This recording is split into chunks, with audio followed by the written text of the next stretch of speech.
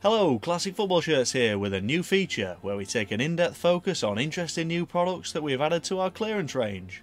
Here we're looking at Serbian club Red Star Belgrade and their home shirt from 13-14 and third kit from 14-15.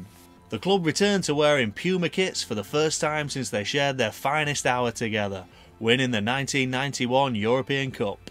The home shirt features the interesting addition of blue stripes to the design for the first time and is the same template as worn by the likes of Dortmund, Feyenoord and Newcastle in this season.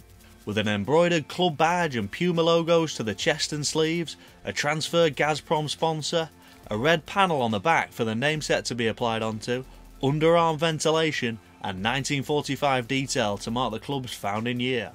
The shirt is regular fitting and was worn by the likes of former Premier League star Nenad Milijaš, top scorer Dragan Mrdja and rising talent Darko Lazovic as Crvena Zvezda won their first Super League title in seven years after going on an impressive run of 15 victories in a row to finish a point ahead of bitter rivals Partizan. We also have the 14-15 third shirt in stock which has a great design with a unique graphic of the club's feared hardcore supporters, the Delije, across the chest. It is a Puma power template with dryCELL technology. Again, it's a regular fit with an embroidered club badge and Puma logos.